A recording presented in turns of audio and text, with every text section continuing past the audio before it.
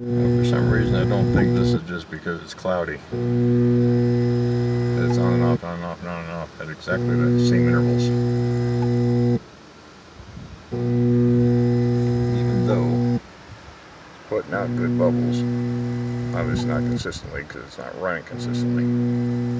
Although you don't see, well, maybe you do see a little break in the bubbles.